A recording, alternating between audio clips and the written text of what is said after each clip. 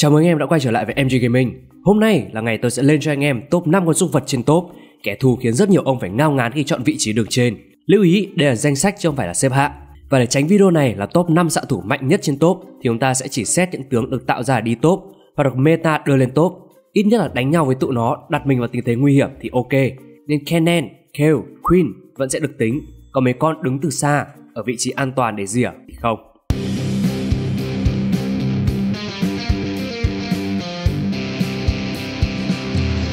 Đầu tiên là tên thuyền trưởng sống dai nhất nhì cảng Bilgewater, Gangplank.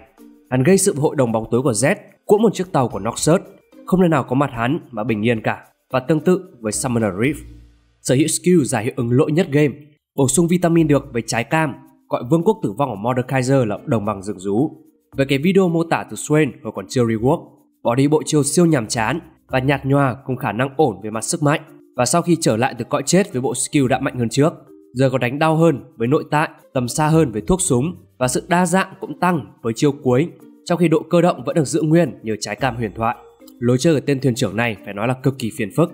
Với nội tại thử lửa chẳng khác nào một cái thiêu đốt tầm gần, cứ 15 giây lại có, kèm với tốc hành phiên bản Shopee.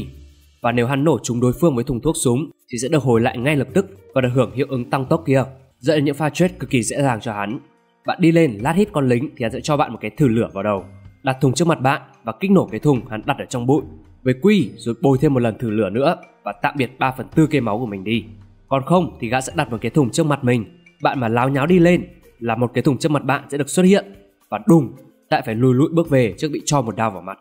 Còn bạn solo kill được gã kia thì sao? Khỏi lo với nội tại được thêm tiền, giết mục tiêu bằng quy, đàm phán. Thì chả bao lâu nữa hắn lại có thêm hòa tiền với bạn mà thôi.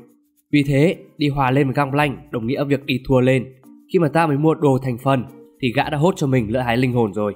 Nên cách duy nhất để thắng đường tên này là đè đường triệt để mà không cho hắn nhìn mặt lính. Tuy nhiên, như thế vẫn là chưa đủ. Tên hải tặc này còn có chiêu cuối, mưa đại bác, với phạm vi toàn bản đồ. Nếu hắn thua lên, thì chỉ cần chăm chăm nhìn mấy lên khác có cơ hội là dồn vào mặt tim địch, một vùng làm chậm và gây một đống sát thương phép ở level 6 thời điểm mà phần lớn các tướng đều chưa có món kháng phép nào cả bào đi 1 phần 3 cây máu của đồng đội bạn, nếu đứng đủ lâu và mang về chiến thắng tuyệt đối với những pha thả mưa đại bác cực kỳ chuẩn chỉ. Còn nếu để gã xanh sao thì chính thức tạm biệt ở game đấu này đi.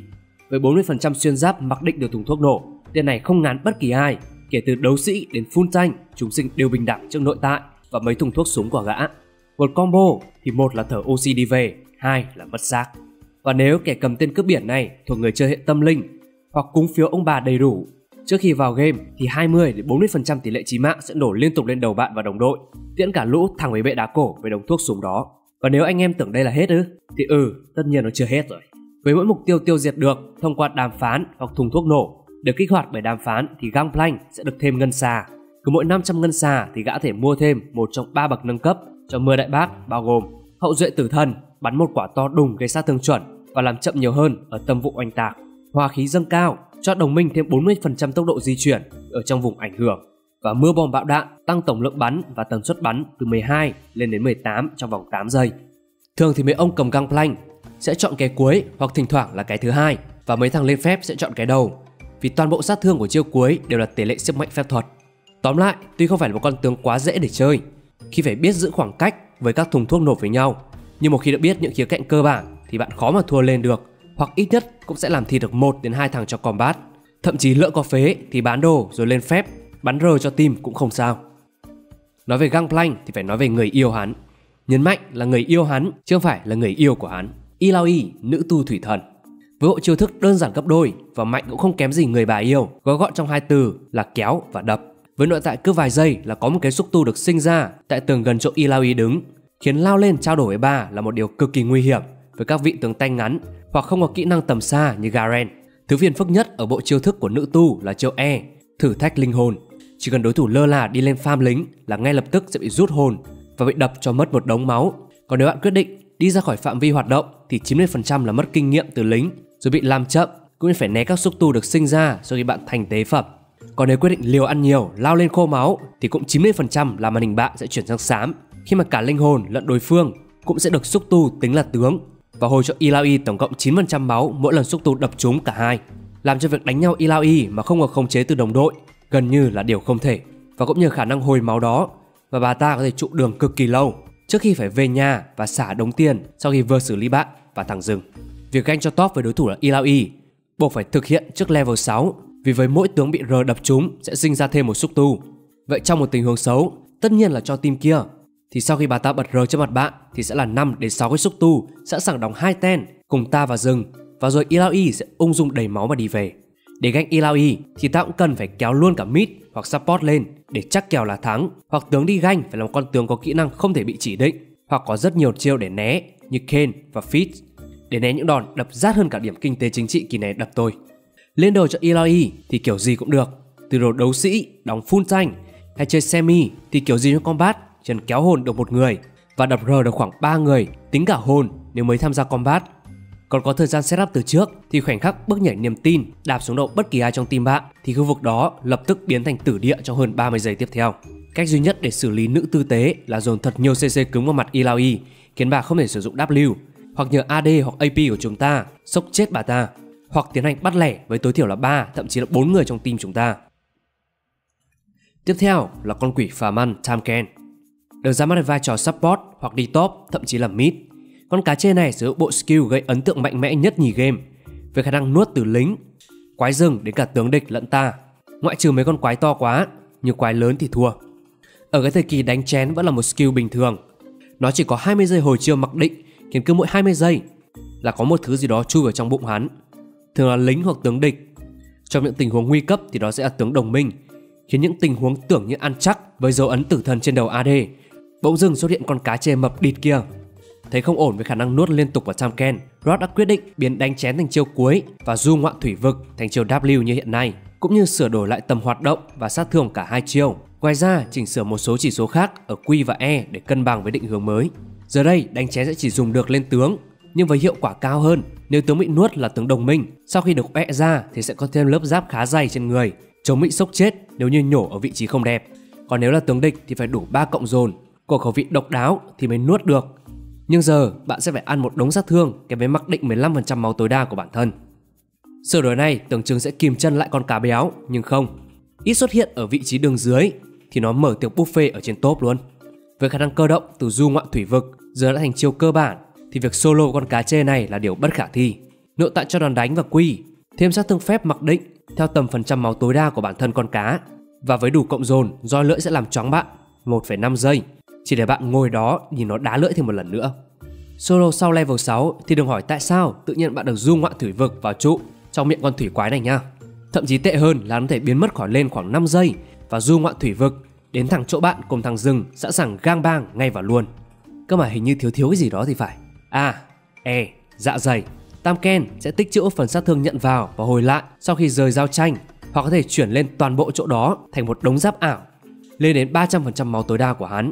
Tóm lại là bạn đánh nó, nó đánh bạn đau hơn. Bạn đánh nó gần chết, nó bật giáp lên và đánh chết bạn hoặc là nuốt bạn rồi bơi ngược về trụ. Chị con cá chê này thì chắc chỉ có mấy đứa tay dài và cơ động gấp đôi để né chiêu với giữ khoảng cách như hai con tướng kế tiếp thôi. Con tướng thứ tư, quyền vương, đại ca Set. Nói cho đơn giản thì với Sojin, tên côn đồ này sẽ đấm cho bạn vỡ đầu. Không khác nào con Irelia lên huyết kiếm cân mọi kèo.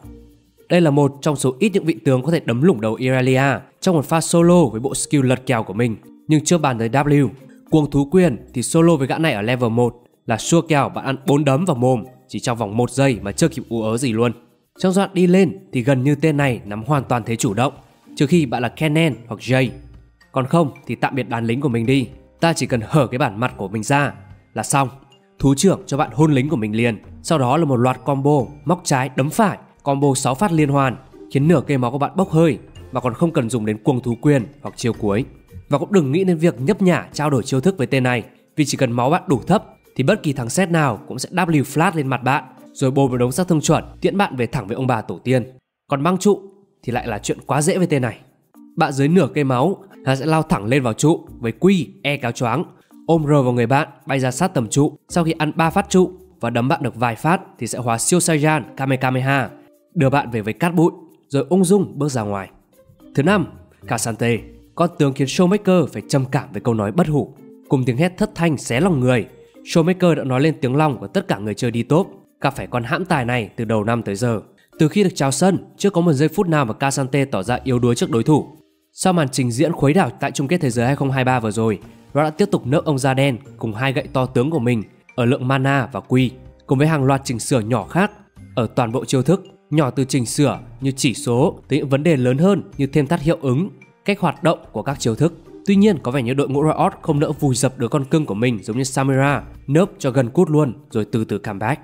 Casante nớp chưa được bao lâu, tận hưởng sự bình yên đó mới được vài ngày thì ở ngay bản kế tiếp ông nội này lại được bắp thêm một cục to đùng khi Riot thực sự tính biến tên này thành một tướng đỡ đòn sát thủ. Một chiếc xe tăng chính hiệu với khả năng biến mất cùng AD team bạn sau một bức tường và một mình hắn sẽ ung dung đi ra.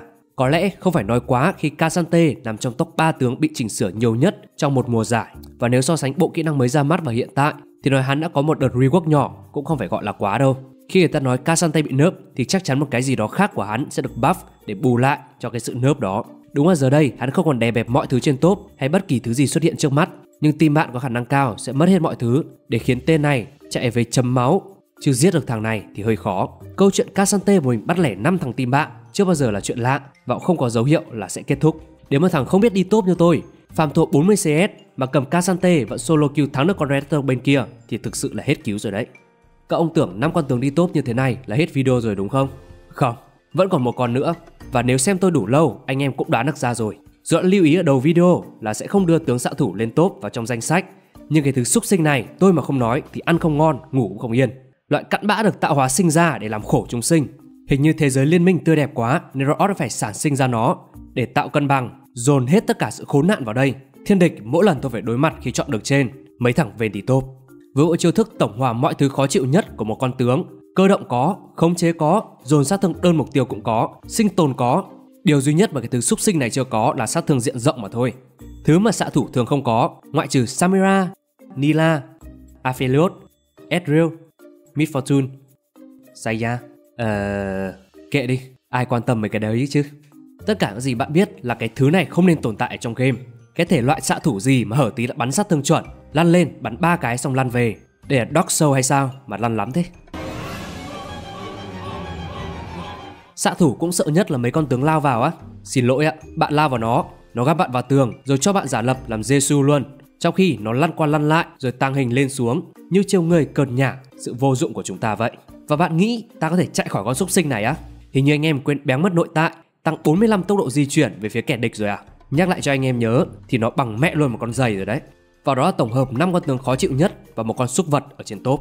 Anh em và tôi làm tiếp tập 2 ở trên top hay không? Hay chuyển sang con lên khác? Nếu có thì nhớ con phía dưới tôi biết nha. Và đừng quên bấm like và subscribe để không bỏ lỡ bất kỳ video kênh ra trong tương lai nha. Sau video top 5 xúc vật ở trên top lên, hôm nay tôi sẽ lên tiếp cho anh em video top 5 con súc vật support chuyên cãi ép mạng của ADC. Phần này sẽ dựa trên dữ liệu của League of Craft và xếp hạng luôn. Bởi vì tôi cũng là nạn nhân của những con súc vật chuyên đi ké mạng này. Trước khi vào danh sách thì xin phép đọc loại pack ra nha. Vì cho dù nó có KS của anh em bao nhiêu mạng đi chăng nữa thì chúng ta vẫn có lợi từ nội tại chiều cuối của hắn. Giải thích đơn giản là khi Pike kết liễu kẻ địch, hắn sẽ cộng thêm vàng cho đồng minh hỗ trợ. Nên về cơ bản, chúng ta không hề bị thiệt gì hết. Còn giờ thì trở lại video nào. Top 5, Luck. Mở bát cho danh sách ngày hôm nay là con cưng của Riot Luck với tỷ lệ KS trung bình là 4.3 mạng trên mỗi ván đấu. Xương xương cũng là 1.200 vàng chưa tính các mạng shutdown.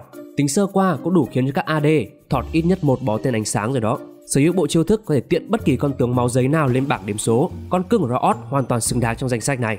Luck Support chơi rất dễ, cũng là vị tướng hỗ trợ đẩy đường rất mạnh, một con quái vật trong giao tranh tổng và có rất nhiều tính đa dụng đối với một hỗ trợ cấu rỉa. Nhưng nhiều khi trong giai đoạn đầu, thay vì làm tròn bổn phận là một support chuyên đi kiểm soát bảo kê AD, con súc vật này lại thường nâng chiêu E, quả cầu ánh sáng đầu tiên để cấu rỉa. Tất nhiên, cấu rỉa không có gì sai, nhưng mà rỉa kiểu gì mà lụng luôn cả đàn lính của AD, hay có lúc hốt luôn ở con xe thì tôi cũng lạnh mấy thánh này. Khi sang level 2, anh em nghĩ sẽ có bao nhiêu con lắc chơi support nâng W trước để buff khiên cho anh em? Giữa chúng ta an toàn cũng như tăng khả năng sinh tồn cho cả hai? Tất nhiên là không có ai rồi. Bởi vì có thằng nào đủ tử tế mà bỏ qua cơ hội dồn combo QE quốc dân rồi sẵn sàng kẽ luôn vài cái mạng cơ chứ. Thậm chí có nhiều đứa khốn nạn đến nỗi cầm lắc support mà không thể lên cả chiều bóc khiên W, dồn hết điểm kỹ năng vào Q và E để tăng sát thương và cũng như để KS mạng của chúng ta. Và khi có được chiêu cuối, Lắc không chỉ còn KS ở đường dưới nữa, mà địa bàn ăn ké của cô em gái này sẽ mở ra khắp bản đồ. Tất nhiên, hang rồng và hang Baron cũng không phải ngoại lệ, với chiêu cuối diện rộng và lượng sát thương cao. Nếu con súc vật này còn đem theo bảng thu thập hắc ám ở đầu game thì anh em cứ xác định không có cái mạng nào mà con lắc này không hit ké đâu. Tôi nghĩ anh em cũng ăn ngủ với liên minh đủ lâu để biết không có một con lắc support nào mà bỏ qua cơ hội dồn cả combo one shot vào đầu đối thủ khi mà nó cho trúng được kẻ địch đâu. Lắc không KS không phải vì Lắc không muốn KS và vì ulti vẫn chưa hồi mà thôi. Khốn nạn nhất là lúc nó bỏ cả AD một mình, chỉ đi chụp hình mấy cái mạng mà chưa chắc đã bắn chúng, Nhưng cũng không thể trách Lắc hoàn toàn bởi vì ngay từ đầu nó vốn là một pháp sư đường giữa với khả năng dồn sát thương cao. Nhưng đáng trách nhất ở đây là những đứa không bảo kê AD mà còn canh cho kẻ địch còn ít máu để rồi ăn ké. Top 4, Senna Vị tướng tiếp theo này cũng là một con cưng khác của Riot khi cô có đến hai trang phục huyền thoại và hai trang phục hàng hiệu, một con số mà chắc hẳn rất nhiều vị tướng khác sẽ phải tủi thân. Tuy nhiên, người tủi thân nhất chắc chắn là các AD khi con xúc vật này cũng ăn ké mạng không kém gì con gái rượu của Riot ở trên. Sở hữu tỷ lệ KS trung bình là 4,4 mỗi ván đấu. Senna đã leo lên đầu lắc, ngồi ở vị trí top 4, sở hữu khả năng tăng tầm đánh vô tận từ nội tại.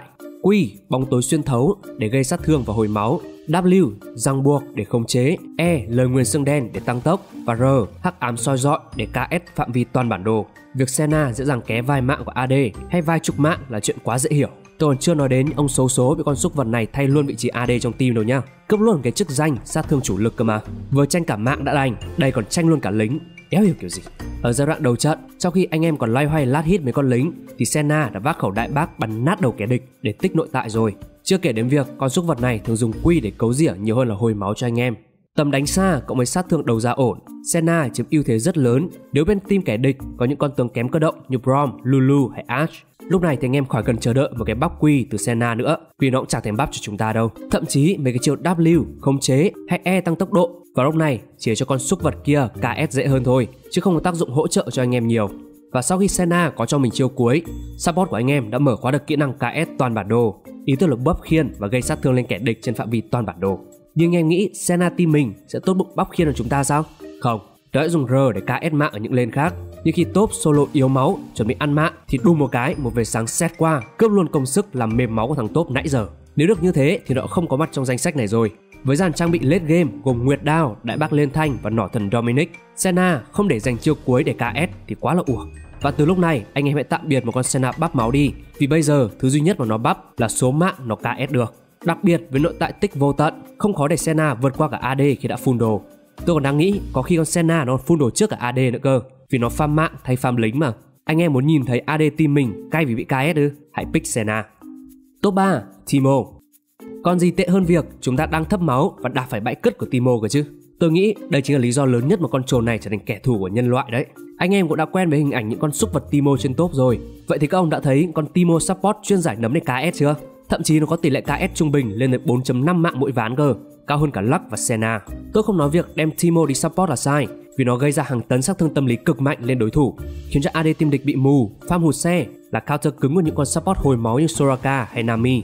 Đặc biệt là kỹ năng giải nấm, vừa để kiểm soát bản đồ, vừa để KS. Quá tuyệt vời một con hỗ trợ, tất nhiên là trừ cái KS rồi.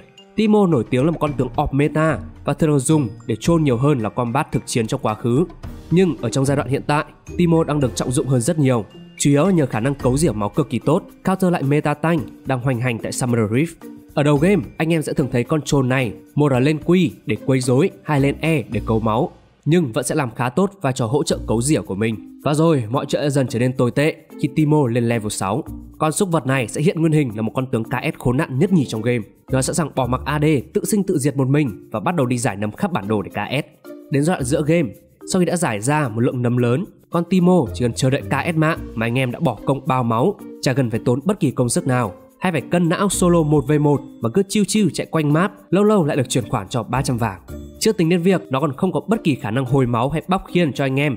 Thế là cứ việc all in tất cả trang bị thuần sức mạnh phép thuật thôi, càng làm tăng thêm khả năng KS ở con đĩ này. Và cuối game, khi con súc vật Timo đủ trang bị thì nó còn KS ác hơn nữa.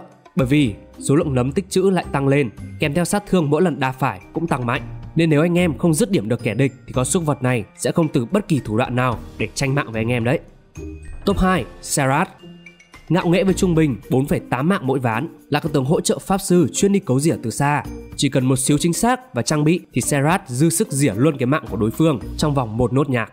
Một trọng tướng cấu rỉa tốt nhất trong game, có bộ kỹ năng gây sát thương cực xa, khả năng dồn sát thương lớn. Tuy nhiên cũng là một trọng con tướng khó chơi nhất khi cả bốn chiêu đều kỹ năng định hướng và kém cơ động, cũng như nhiều tướng cấu rỉa khác để Serat phát huy toàn bộ sức mạnh của mình. Hắn cũng cần những món đồ phép thuật chủ lực như vọng âm Luden, ngọn lửa hắc hóa và mũ phù thủy. Những món có vẻ khá đắt đỏ nhưng em tin tôi đi, không có game thủ nào cầm Serat support mà ăn chay cả. Sở hữu lợi thế chiêu thức tấn công từ xa, Serat dễ dàng KS mạng không chỉ của AD mà còn của bất kỳ lên nào khác nên việc không farm lính mà vẫn có được trang bị trên 3.000 vàng chỉ là vấn đề thời gian. Serat rất mạnh khi có những kèo combat với những tướng tay ngắn và kém cơ động. Tận dụng được ưu điểm này nên ở level 1, Serat sẽ thường farm quy để cấu rỉa liên tục từ xa. Nhưng cũng chẳng khác con lắc là bao, khi nó cũng ít nhiều rỉa luôn cả một lượng lớn lính của anh em. Đến giai đoạn giữa game, Serat mới thể hiện ra khả năng KS của mình khi các kỹ năng vốn đã xa nay còn gây ra rất nhiều sát thương. Đặc biệt là chiêu cuối, một trong kỹ năng làm nên con số KS 4,8 mạng mỗi game. Mục tiêu duy nhất lúc này của Serat là spam thật nhiều skill để dồn đam vào kẻ địch. Vừa để cấu rỉa cũng như để kiếm vài cái mạng mà anh em chưa kịp dứt điểm. Và cuối game cũng không khó để bắt gặp những cái quy bay nửa cây máu của AD team địch đâu. Nên việc KS mạng con súc vật Serat này chả khác nào đi farm lính. Vì vậy không khó hiểu khi Serat ý tôi là Serat đứng thứ hai trong danh sách này. Và cuối cùng chúng ta sẽ đến với top 1 của server trong danh sách ngày hôm nay. Không ai khác chỉ là Brand. Đúng là không hổ danh là đệ tử của Rai, hắn luôn luôn trung bình 5 cái mạng mỗi trận đấu. Brand là một con tướng pháp sư hỗ trợ cấu rỉa, gây ra rất nhiều sát thương, nhiều lúc còn là người gây ra đam nhiều nhất trong team.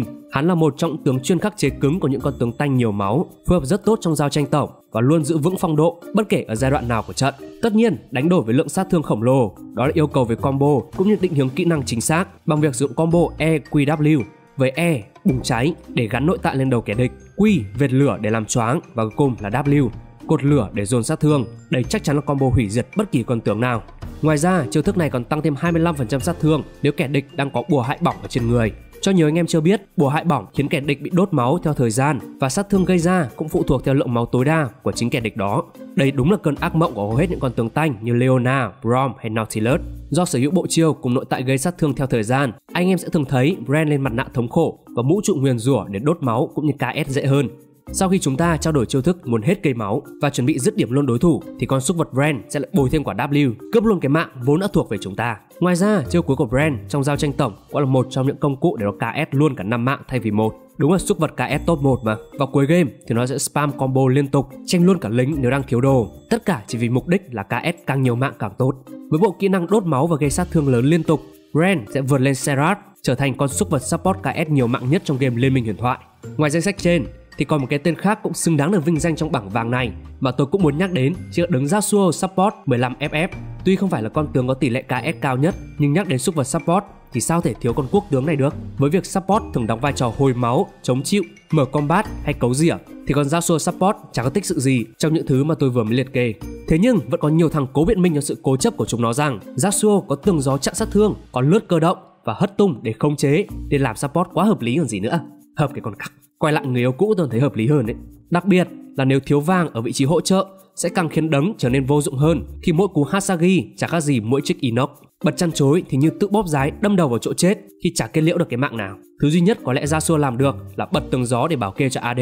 Nhưng mà thời gian hồi chiêu là 25 giây ở level 1 và 17 giây khi nâng mắc thì thôi, xin các ông cất dùng tôi con Yasuo vào trong tủ với. Đừng có pick lock xong lại 15 phút GG thì nhục lắm và đó tổng hợp toàn bộ tướng hỗ trợ vô cùng xúc vật. Anh em đồng tình với bảng xếp hạng này của tôi không? Liệu còn có con tướng nữa không nhỉ? Nếu có nhớ comment phía dưới tôi biết nhá. Nối tiếp chuỗi series những con tướng xúc vật trong Liên minh huyền thoại. Kỳ này tôi đã mang đến cho anh em top 5 con tướng xúc vật đi rừng nha. Đây cũng là một trọng lên quyết định thắng thua cả trận đấu, đặc biệt là trong mùa giải 2024 này, khiến những thay đổi vô cùng lớn và đột biến đều nhằm từ khu vực rừng. Cho nên không tốn thời gian nữa, bắt đầu luôn thôi. Đầu tiên, Timo. Tôi biết là dạo gần đây không quá nhiều người đem Timo vào trong rừng đâu, nhưng một khi đã đem vào trong rừng thì độ xúc vật của nó đứng thứ nhì thì không ai đứng thứ nhất.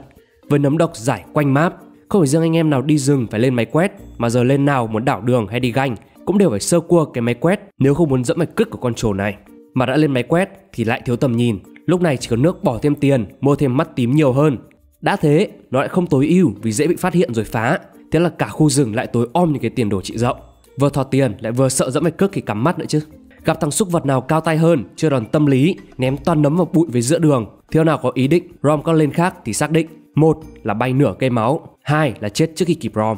Mà anh em nào thấp máu, tính núp bụi để biến về thì cũng nên suy nghĩ cho kỹ. Vì chào cái bụi nào mà không có dấu cứt của con trồn này hết. Xui xui còn mất 1 phần 3 cây máu và một phát là nhớ nhau cả đời. Kể cả có phun cây, chuẩn bị xông ra combat mà dẫm phải nấm thì rén xong lại phải lùi về đằng sau. Timo vừa gây đam trong game lại vừa gây đam tâm lý cực kỳ mạnh.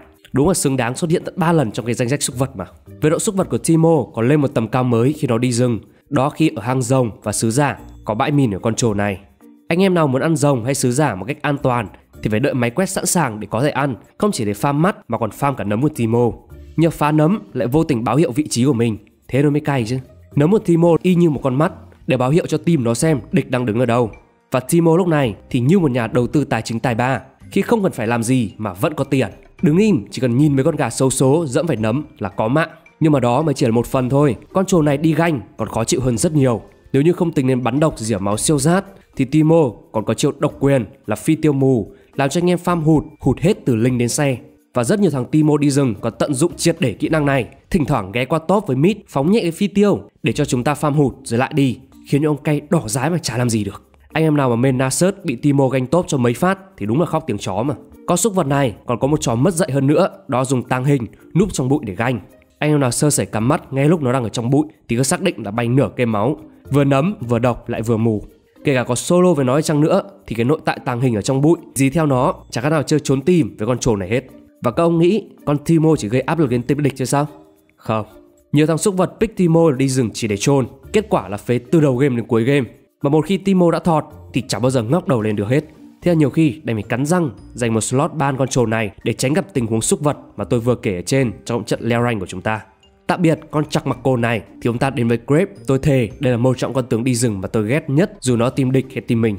Đồng ý là bộ chiêu lao lên ganh của Grape cực kỳ hiệu quả nhưng gặp mấy thằng ganh không được mạng thì nó lại quay ra dùng hết bộ skill để dọn lính của chúng ta đấy. Rừng bình thường chỉ trừng phạt cướp một con xe, coi như đây là phí ganh rồi quay trở lại rừng nhanh để chúng ta còn farm hoặc hit kinh nghiệm. Nhưng con grab với bộ kỹ năng trên hai chiêu là xong luôn wave lính chứ không chỉ có mỗi một con xe đâu. Đã ganh không được, còn cướp luôn cả đàn lính của mình. Đi mid mà thọt tiền thì xác định là thua lên rồi còn gì nữa. Đó gặp grab xúc vật team mình, còn grab team người ta thì khác lắm, y như một con quái vật. Với khả năng dọn rừng cực kỳ nhanh, anh em thể bị grab hốt luôn cả bãi quái bên này. Kể cả có tranh nhau trong combat 1v1 thì con xúc vật này cũng chẳng ngăn bố con thằng nào với đạn vô cùng thấm. Nhưng điểm khó chịu nhất ở Grape chưa chiều W, bom mù của hắn. Cứ tưởng tượng đang farm ngon lành thì ăn nguyên trái bom vào đầu. Chạy không được mặt đánh cũng không xong, lúc nào cũng lo bị nó one shot nữa. Đặc điểm này thì y hệt cái phi tiêu mù của Timo nhưng còn khó chịu hơn. Thường những lúc ăn bom thì anh em sẽ có hai kết cục. Một là toàn mạng quay về nhưng đánh đổi cả một wave lính. Lỡ như wave một con xe thì coi như phải bỏ luôn. Lại thọt tiếp về tiền. Mà tôi cũng chả hiểu dù ở team mình hay team địch con wave luôn làm chúng ta thọt tiền đấy nhỉ. Còn trường hợp thứ hai là khô máu với nó mà trong trường hợp này thì chết sẽ nhiều hơn đấy. Chứ anh em mà vừa cân được grip, vừa đánh được con tướng đi chung lên thì một là dạng thần thánh, hai là anh em đang chơi con bài da đen, đẩy là một con tướng địch vào tình thế dầu ăn. Quay ngược trở lại việc đi rừng, không khó chúng ta bắt gặp những khoảnh khắc con grip lướt vào, cướp luôn con rồng hoặc baron. Đã cướp rồi lại tặng thêm combo QR thì one shot cả team luôn. Tôi khá chắc là nhiều ông lúc đấy tức muốn đập luôn cái bàn phím đi ấy chứ. Kể cả anh em có dàn trận ở bắt grip hay chăng nữa thì cái chiêu rút súng nhanh sẽ giúp cho hắn sủi ngay trước mặt chúng ta. Đấy tôi chưa nói đến những thay đổi trong mùa 14 này đâu, gần như là hoàn hảo dành cho Grape. Hắn đã sẵn sàng để nã đạn một bất kỳ con tướng nào dám đối đầu với nó. Nhiều đấy thôi cũng đủ để cho Grape vào trong danh sách những con tướng đi rừng súc vật nhất của liên minh rồi nhỉ. Tiếp theo danh sách sẽ là hồn lề Shaco, đặc biệt là với quả tăng hình móc lốc ngược, one shot, dàn xạ thủ và pháp sư phía sau thì anh em trọng quá quen thuộc cái kịch bản này rồi. Nếu như Timo cứt trồn thì chúng ta có Shaco và hộp sectoid của hắn. Hộp hề vừa gây hoảng sợ lại vừa gây sát thương gặp con súc vật nào build phép nữa thì anh em cứ xác định bay 1 phần 5 cây máu chứ chẳng đùa đâu. Đó chưa kể đồng minh còn bị cái hộp này cướp mất mấy con lính, thậm chí là cả xe. Lúc đấy thì chỉ có bất lực đứng nhìn rồi đứng tặng cho con hề này mấy cái binh hỏi chấm chứ chẳng làm được gì. Mà độ xúc vật của Shaco cũng tập trung hết vào phần thân của nó luôn. Lao lên đấm nhau với mấy thằng Shaco thì chuyên bị hack não liên tục, không biết con nào là thật, con nào là giả. Đến khi biết được rồi thì nó chạy mất dép, còn không thì mình cũng bay nửa cây máu. Hay gặp nhất là trong pha combat tổng đã biết con nào là thật, con nào là giả mà vẫn cứ đánh nhầm thôi. Còn không là con phân thân sẽ chặn skill đỡ đòn cho con thật. Thành ra và không giết được thằng hề này mà lại ăn hoảng sợ nữa chứ. Không biết anh em bị như tôi không nhưng mỗi lần bị Shaco ganh thì đánh không được mà chạy không xong. Nó tăng hình rồi đặt hộp ở đường về xong lao lên giáp lá cả với chúng ta. Lỡ một có thọt thì nó bật ulti rồi sủi. Mình mà dí theo không được vì cứ bị con phân thân áp sát mà chạy về thì ông đáp luôn về cái hộp đã gài sẵn. Thể cái éo chịu được. Trước kể đến những pha combat trong rừng những chỗ nhiều bụi thì thôi Tôi thả chơi trốn tìm con Timo còn vui hơn. Vừa phân thân, vừa tăng hình, vừa núp bụi. Loạn trọng chui trong bụi mà tìm Thì chỉ có đạp bẫy của nó. Mà anh em bỏ về thì chắc gì con Shaco đã tha cho Khi nó thể gây thêm sát thương khi tấn công từ phía sau. Mà không biết có điều gì tồi tệ hơn một thằng hề cầm dao gì chúng ta không? Đó là một thằng hề cầm kiếm phóng điện. Tôi không hiểu tại sao nó đã đẻ ra được cái trang bị lỗi VKL thế này cho Shaco cơ chứ. Shaco vốn là một sát thủ chuyên đi one shot Dựa thêm cái món này Chả có nào được bắp mở thêm đường để cho nó chạy Gặp thêm phải mấy thằng có lối lên đồ dị nữa Chuyên tàng hình one shot từ phía sau Thì thôi xác định khỏi chơi game này luôn Lên sát lực cũng mạnh, mà lên trí mạng cũng mạnh, mà lên phép cũng mạnh luôn. Đây chính là 200 năm cân bằng Raw đấy. Thứ tư, Warwick. Để mà nói súc vật rừng thì đây chính là con tướng súc vật cả nghĩa đen lẫn nghĩa bóng.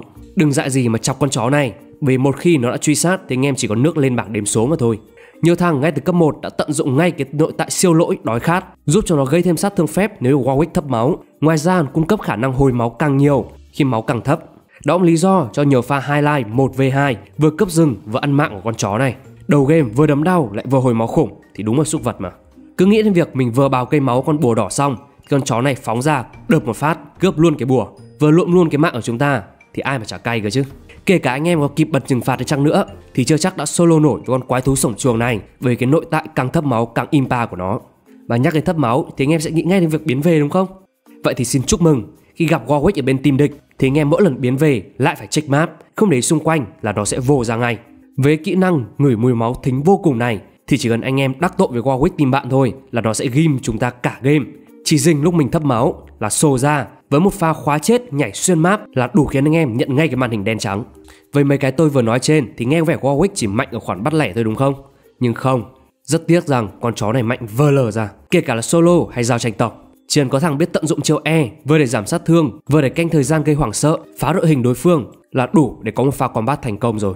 Thành ra việc đuổi bắt con mồi Warwick chỉ là hốt sắc đứa thấp máu đang bỏ chạy sau giao tranh tổng thôi. Chứ còn mấy đứa ở lại chiến đấu con súc vật này đã ngỏm hết rồi. Nếu như đó thôi chưa đủ thuyết phục về độ xúc vật của Warwick thì tôi cho anh em thêm một lý do nữa đó Warwick là một trong con tướng khả năng solo rồng ngay từ level 1 với tốc độ dọn chưa tới một phút. Như vậy chắc đã đủ để anh em thêm con chó này vào danh sách cấm của mình trong trận xếp hạng rồi đấy. Cuối cùng, đã bao giờ anh em gặp trường hợp khi mình tung ra một mớ skill nào phải định hướng, canh thời gian rồi phải trao đổi chiêu thức liên tục để chiến đấu trong khi có một con tướng cứ lao ra và đánh thường spam một chiêu duy nhất là đủ hốt xác ăn mạng và có pentakill không nghe quá quen thuộc rồi còn gì nữa. Con súc vật đó không ai khác chỉ là Master Z, một trong con tướng đời đầu của Liên minh huyền thoại và là hot pick của những anh em đồng đoàn có khả năng gặt mạng như gặt lúa. Chạy thì nhanh, chém thì đau. Con súc vật không ít lần bị Rod đưa lên thớt rồi. Dù là với phiên bản nào, Master Z cũng có hai trường hợp. Một là siêu lỗi, hai là siêu phế. Nếu xanh thì farm người vét hết tài nguyên. Còn nếu fit thì cũng cố vét hết tài nguyên để gỡ gạc. Và nó sẽ phụ thuộc vào tuyệt kỹ alpha để lao lên một cân năm và cố có cho mình cái pentakill. Nhưng mà phải công nhận là rất nhiều ông chơi Master Z Pro thật, highlight các kiểu. Nhưng có nhiều thằng chỉ thích đi lẻ để farm, ngủ ở trong rừng, xong rồi vẫn lên bảng điểm số. Biết là mình đi lẻ không an toàn nhưng vẫn để bị bắt, fit nát cho toàn bộ team. Và vì một lý do thần kỳ nào đó ở Master Z team địch lại luôn là cao thủ, còn team mình thì là một thằng fit. Y như quy tắc về Yasuo đi mid vậy. Master Z team địch thì gây khó chịu cực kỳ mạnh với những pha băng trụ hổ báo, chẳng khác nào mấy con tanh liên tục dí và chém anh em bất chấp cả trụ. Đến khi trụ bắn gần chết, chỉ cần bật tuyệt kỹ alpha và thiền thôi là xem như chưa từng có một mối nguy hiểm nào xảy ra với Master z. Con tướng này còn gây sát thương tâm lý cực kỳ mạnh lên đồng đội bằng những pha núp bụi ở trong rừng. Đợi combat xong hết rồi sẽ chạy ra vét máng. Tôi thề là éo có thế nào cay bằng cái pha này. Chúng ta đã bán máu, bán mạng để kéo con tướng địch kia xuống dưới ngưỡng máu tử. Và con gì thì cứ đợi đồng đội chết hết thì mới lao ra từ rừng dí và cá ép những mạng đấy. Khó chịu vãi cứt mà. Mặc dù Master G là một con tướng thuần đam, rất dễ bị khống chế và counter, nhưng với chơi hổ báo spam queen liên tục con súc vật này thì may ra chỉ có đồng hồ cát mới cứu được chúng ta thôi. Và không phải tự nhiên mà concept là one charm Master Z đâu. Chỉ cần nhìn lối đánh của anh là tạm thấy được Master Z chuyển bật R lên là đồng bắp cực kỳ mạnh vừa tăng tốc độ di chuyển và tăng tốc độ đánh lại thêm bùa lợi miễn làm chậm nữa chứ. Lúc này chỉ cần Master Z né được khống chế thôi thì cứ xác định đứng yên một chỗ cho nó chém. Lên bảng đếm số cho nhanh, tiết kiệm thời gian cả hai chưa có chạy không thể thoát nổi khỏi bậc thầy KS này đâu. Và đó là năm tướng súc vật đường rừng mà tôi đã tổng hợp được. Liệu anh em đồng ý với danh sách này không? Hay vẫn còn con tướng nào xứng đáng trong danh sách này nữa nhỉ? Nếu có nhớ comment phía dưới tôi biết nhá. Như các ông cũng biết đấy, Liên minh huyền thoại ra mắt từ năm 2009 tới bây giờ là trải qua 14 mùa với rất nhiều thay đổi, cập nhật các vị tướng mới và meta cũng thay đổi một cách chóng mặt. Quả là một hành trình dài và không ngừng nỗ lực phát triển game của đội ngũ Riot. Thế mà bao lâu nay anh em mới chỉ chơi được bản meta với lỗi tùm lum, từ lỗi game đến tướng lỗi Thế nên đi cùng với quá trình chạy beta cả chục năm đó, chắc chắn có những vị tướng bị ghét hay còn được cộng đồng anh em game thủ gọi với cái tên thân thương là xúc vật. Mà một trong những đường bị déo tên rất nhiều đó chính là đường giữa. Một trong những lên mà nhiều anh em thích làm sói cô độc gánh tim muốn đi nhất. Từng được đánh giá là bộ não của team cho đến khi lên rừng được thay đổi như bây giờ. Hôm nay, hãy cùng MG Gaming điểm qua top 5 cái tên xúc vật đường giữa trong Liên minh huyền thoại nhé. Lưu ý đây không phải danh sách xếp hạng mà chỉ được liệt kê ngẫu nhiên một cách có tình ý. Có nhiều nguyên nhân khiến một vị tướng bị ghét có thể kể đến như vị tướng đó quá mạnh khó đối đầu, lối chơi khó chịu khiến chúng ta dễ bực mình, quang game hay chiêu thức quá tù, quá nhàm chán. Từ những trận đấu thường cho đến đấu rank, chúng ta dễ dàng bắt gặp những lựa chọn dị hợm, nào là support tấn công, support kéo cho đến support buff cũng được các cụ châu non sách ra mít. Đó là những con người sống trong quá khứ mà cũng có thể là biết cái mẹ gì đâu, thích thì mình mang ra thôi. Game này là của bố mày cơ mà. Nói là sống ở quá khứ vì ngày trước đúng là có lối chơi support buff Dimit, nổi bật là Kama và Lulu với mục tiêu dồn hết tất cả vào AD, vị trí carry tín nhất vào thời điểm đó. Đến giờ thì lên nào cũng carry được nên không còn chiến thuật năm lên như một đó nữa. Nhưng khi các support ngày đó dần lặn xuống thì ở một dòng nước đen ngòm sâu không đáy, một thế lực khác lại nổi lên, không chịu yên phận làm support, dù mang danh là con support KS mạnh nhất game. Pike là một sát thủ hỗ trợ với sát thương ấn tượng, khả năng cơ động đáng sợ và khả năng hồi phục mạnh mẽ. Hắn ta ẩn mình trong bóng tối, rình dập con mồi, sau đó sử dụng móc câu và dao găm của mình để xé nát kẻ địch. Ngày đó Pi nổi lên như một thế lực có khả năng ganh liên tục, ganh mạnh mẽ, ganh mất kiểm soát. Để đi ganh nhiều cần hai thứ, một là cơ động, hai là dọn lính nhanh. Vì anh em đang sách Pi ra mid mà, không farm thì vứt. Bộ chiêu thức của Pi ngày đó quá mạnh, quá khó chịu và đáp ứng dễ dàng một cách vượt trội cả hai điều kiện trên. Do chiêu quy đâm thấu xương, ngày đó không phải đơn mục tiêu như bây giờ. Cú quy nhấn chọc xuyên lính, gây đam đa mục tiêu. Chiêu E, dòng nước ma quái cũng vậy, lướt đi một khoảng để lại cái bóng, sau đó bóng sẽ quay về với Pi, gây đam và choáng trên đường đi. Giờ fix lại chiêu E đã không còn khả năng gây đam lên lính, hai pha nớp nặng tay khủng khiếp, triệt hoàn toàn lối đánh Pai đi mid. Đầu tiên xét về khả năng dọn lính chỉ cần một chiếc Tiamat, Pai có thể clear một quay lính chỉ trong một combo EQ đánh thường kích hoạt Tiamat. Anh em có thể tự tin dọn lính bất chấp địch đang bất lực cấu rỉa. Vì nội tại của Pai, quà của kẻ chết đuối, khi không bị kẻ địch nhìn thấy thì hồi phục một lượng máu dựa trên sát thương phải nhận. Nó như cái lớp máu sáng của con cá chê tham Ken nhưng lại được hồi ngay vào luôn. Hồi nhiều và nhanh ngay khi ẩn khỏi tầm mắt của kẻ địch. Giúp vị tướng này hồi phục quá đáng sợ. Khả năng hồi phục phải ngang với người sói hoặc Depu. Mọi vết thương kẻ địch gây ra có khi còn chẳng để lại sẹo. Sau khi ú à bay ngay đợt lính thì Pai sẽ sử dụng W lặn mất tâm, đúng nghĩa trên chữ lặn và mất tâm luôn. Rồi lại bất ngờ trồi lên, đâm đâm chọc chọc một tí ở top, một tí ở bốt. Thi thoảng lại ghé vào rừng hỏi thăm nhau phát. Chữ W tăng tốc và tàng hình cho khả năng di chuyển cực tốt. Thêm viên ngọc lắp ván vào mông mỗi khi lướt trên sông thì hai lên lúc nào cũng rén khi mid ping hỏi chấm loạn xạ, còn pai thì mất hút.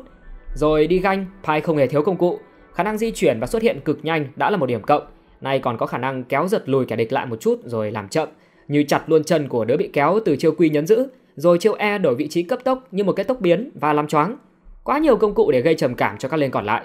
Sau khi ghé thăm nhau vài lần, lòng thương nhớ thì tăng, còn cây máu của địch thì giảm, là lúc Pai sử dụng R, tử thân KS.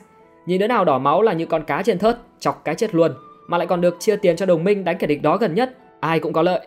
Ganh không được thì trong lúc lui về mid farm lại được hồi máu, Mọi vết thương phải là lớn lắm mới có thể để lại sẹo. Con quỷ chứ con tướng gì vậy trời. Đồ thì kiếm ma, cây kiếm sát lực cho khả năng tăng tốc quá hợp với Pai, cùng với diều Tiamat là đủ quẩy cả sân. Giờ nhìn lại thì đúng là quá khứ kia của anh giờ chỉ còn là nỗi đau, Pai giờ chả còn gì, đi support cũng không phải là ưu tiên hàng đầu, đi mid thì không thể, chỉ còn có thể thỉnh thoảng mang quá khứ ra khè các cháu cho vui, ăn mày quá khứ. Mà nói đến ăn mày quá khứ cũng từng có nhiều trường hợp rất bá ở mid, nhưng ấn tượng nhất chắc chắn phải là Nautilus Đến cả cụ Faker cũng từng xách Nautilus ra mid chơi. Đến cụ còn chơi thì anh em tự tiên pick lock đi chứ còn gì nữa. Từng một đợt Nautilus chỉ vì một pha lỡ tay của Riot sửa lại cơ cấu sát thương phép mà hóa thành một con AP có khả năng sốc đam với khống chế có phần mạnh quá. Không được cơ động như Pi nhưng khống chế lại có thừa, lượng đam cũng lớn không kém. Móc mỏ neo chúng là xác định một vé về nhà sớm. Cơ mà tất cả chỉ gói gọn trong lượng sát thương lớn với không chơi khó chịu, còn lối chơi thì khá tù, đơn giản dễ hiểu chứ không màu mè hoa mỹ như Pi. Các AD máu mỏng như giấy cũng không nằm ngoài cuộc chơi. Những trường hợp sáng như Lucian rất mạnh và thống trị mid 2 năm về trước. Tuy nhiên sau nhiều lần chỉnh sửa và nerf đi sức mạnh của vị tướng này, tỷ lệ thắng của Lucian mid giờ khá thấp, chỉ với 45,86%, nhưng tỷ lệ pick anh chàng này vẫn khá là cao và rất nhiều người vẫn muốn đem Lucian ra mid. Tất nhiên, Lucian vẫn là một con bài đáng sợ khi vào tay một người biết chơi, vì ngọc chuẩn xác kết hợp rất tốt với nội tại của Lucian, dồn đam mạnh và nhanh. Lợi thế tay dài của một AD càng cho phép anh chàng mất quyền công dân này làm thế. Tuy vậy anh chàng lại không sống sót được với vòng quay của thời đại. Đến giờ chỉ còn Tristana là vị trí AD pick Dimit mà người ta không cho là chôn chôn Việt Nam. Là một AD nhưng có tỷ lệ thắng khi Dimit khá cao với 50,02%, hay nói cách khác là 50-50 tùy kèo đấu. Tristana có lợi thế tay dài, tầm đánh tăng dần theo thời gian, có thể dễ dàng đè đường giai đoạn đầu trận với các tướng có giải tay ngắn. Đã thế chiêu e bọc súng gây sát thương lan thực sự gây khó chịu, khiến mấy đứa sát thủ tành cơ đi mid farm không nổi hay vừa farm vừa thở oxy gấp để ganh được chis thì cũng khó khi có nguyên chiêu W phóng nhảy tên lửa, bay đi nguyên một quãng bằng cỡ ba cái tốc biến và ulti đại bác đẩy lùi, đẩy kẻ địch đi ra xa. Khi hạ gục kẻ địch, chis được hồi lại W khiến chis bay như chim. Không khéo bị Tristana bay vào băng trụ hạ gục rồi bay ra như chưa có chuyện gì xảy ra ấy chứ. Bộ chiêu thức của Chis sinh ra để dồn siêu mạnh kết hợp với E gây sát thương lan cực kỳ hữu hiệu trong giao tranh tổng. Lỡ ngớ là mất luôn cái trụ vì Chistana nổi tiếng đẩy trụ nhanh. Đánh người không thắng thì ta chuyển sang game đánh trụ phá nhà lấy lợi thế. Cờ động có, dồn sát thương tốt, tầm đánh tăng dần, đẩy trụ nhanh khiến Chistana trở thành con bài khá khó chịu khiến người ta ngao ngán. Điểm yếu duy nhất của Chis cũng giống như các AD khác là máu giấy. Vì thế nếu vào tay những người chơi ảo tưởng sức mạnh, di chuyển không tốt, dễ bị bay màu và bắt lẻ khi bị team bạn dồn đam. Nhưng nếu khắc phục được những điều trên thì đố ai mà bắt được Tristana với combo WR đấy. Kể đến support và AD rồi, vị trí tiếp theo tôi sẽ kể đến vị tướng pháp sư Tun chạy bằng cơm. À có lúc thì Tun thật, với nhiều kỹ năng định hướng nên dễ nhiều ông dùng Tun hack các kiểu các kiểu lắm. Phát hiện hay không thì còn tùy. Vị tướng có lối chơi cấu rỉa cực kỳ khó chịu, chỉ cần trúng chiêu E làm choáng rồi dồn QW khiến đối phương hấp hối ngay lập tức. Hoặc nếu không combo của Serat có thể ép góc cực tốt, khiến giai đoạn đi đường với vị tướng này cực kỳ khó khăn. Phạm lính không yên, thở không nổi nếu bị Serat dắt mũi trên kèo. Ulti R cho phép Serat kết liễu từ xa, tuyên bố anh em đối thủ chạy đâu cho hết nắng vì anh đã tính cả rồi, giúp Serat dễ dàng hỗ trợ đồng đội từ xa, dồn chết kẻ địch yếu máu đang hấp hối. Khi có các món đồ chấn phái như vọng âm Luden và quyền trượng, một quy của Serat có thể bay nhẹ nửa cây của AD là một chuyện hết sức bình thường, khiến team bạn phải khiếp sợ. Còn quả ulti late game kết liễu từ xa nữa chứ. Đen thì bị ăn cả 4 năm quả ulti thẳng mặt và cút luôn giữa giao tranh loạn lạc. À còn chưa kể bộ kỹ năng full tầm xa của Zerat cho phép vị tướng này KS vét mạng nhanh hơn cả tiểu lý phi đao. Không, cẩn thận anh em lại cay cú vì đánh chán chê mỏi cả tay xong lại không ăn được mạng vì con đất ơ Zerat quy nhẹ một cái. Thế là hết chẳng còn tình nghĩa nào ở đây nữa. Thế nhưng chính vì bốn chiêu trên đều là kỹ năng định hướng lại còn là con dao hai lưỡi vì nếu bạn tung chiêu không tốt, kỹ năng kém sẽ không gây được đam và con tướng này coi như vứt đi. Để bù cho lượng sát thương mạnh đến từ chiêu thức, Serat không có chiêu thức thoát thân, độ cơ động tính bằng chiếc tốc biến. Vì vậy nếu không giữ vị trí tốt, dễ dàng trở thành mục tiêu của team địch và có thể bay màu ngay lập tức. Còn anh em là sát thủ đấu sĩ mà không dồn sát thương vào con Serat để thả vị tướng này được spam chiêu thì có đào ức chế thì dáng chịu nhá. Vị trí tiếp theo chính là con cưng của Riot. Khi may mắn được gà rán để ý, nép lên nép xuống chục lần mà người ta vẫn gọi bằng cái tên gần gũi đó là sát thủ đơn độc của Kali. Với lối chơi hoa mỹ đẹp mắt như một ninja ngầu lòi bí ẩn, dù bị giảm sức mạnh bao nhiêu lần đi nữa, anh em vẫn rất đam mê và pick chọn cô nàng cho lựa chọn đường giữa. Và Akali vẫn chứng tỏ sức mạnh không tưởng của mình. Bộ kỹ năng cho phép Akali bay nhảy, cơ động mà không tốn mana. Nội tại dấu ấn sát thủ giúp hồi lại nội năng và cường hóa đòn đánh tiếp theo, giúp lối chơi đánh nhấp nhà của Akali luôn có đất diễn. Chiêu E có thể vừa để chạy vừa để bắt mục tiêu từ xa, kết hợp với ulti lướt liên tục hai lần nữa, khiến cô nàng sát thủ này trở nên cơ động hơn bao giờ hết. Với E, Akali có thể đu bám cực khó chịu, bay qua tường, bay qua mọi địa hình, bay vào giữa đội hình địch, bay cả vào trụ hoặc bay luôn một mạng cho team địch. Đặc biệt Akali có chiêu W bom khói khi tung chuẩn xác có thể đánh lừa đối thủ, thoát ẩn thoát hiện đúng nghĩa, thoát thân cực ảo hay outplay đối thủ một cách bất cả là ngờ. Tố cá là chỉ thua mấy bàn Ninja League ngoài đường thôi. Tuy nhiên, Akali là một tướng khá khó chơi. Để chơi tốt bạn cần biết ra vào giao tranh hợp lý, biết căn góc và một chút mưu mô, tránh bị CC cứng vào đầu mà sốc sát thương. Đặc biệt, dùng kỹ năng bom khói tạo điểm nhấn đúng lúc và không lao lên một cách vô ích. Vì nếu không có bom khói, Akali vốn máu giấy, rất dễ bị dồn đam mà chưa kịp múa may trong combat. Top đặc biệt không ai khác chính là vị tướng quốc dân của toàn trẻ em Việt Nam. Vị tướng này được sinh ra để tạo ra những pha highlight ảo diệu, màu mè với khả năng chém gió cực đỉnh, chém từ trong combat đến trong ô chat. Múa kiếm ngầu lòi chuẩn samurai khiến team bạn khiếp sợ phải GG ngay phút 15, hoặc là team mình bất lực quá, tạ nặng quá, phế vật quá. Vâng và những điều mà tôi nói ở trên chỉ có thể dành cho một người thôi, Yasuo.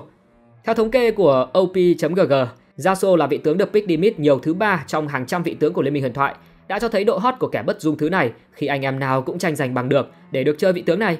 Và anh em có thấy tỷ lệ thắng của Yasuo cao không? Vào game chỉ auto pick thôi và không cần quan tâm team mình hay team địch có tướng gì, đang thiếu lên gì. Cứ Yasuo auto đi mọi đường, cân mọi kèo một cách bất chấp. Thế nên lượng người chơi test tướng hay ảo tưởng về sức mạnh của Yasuo cũng nhiều vô kể.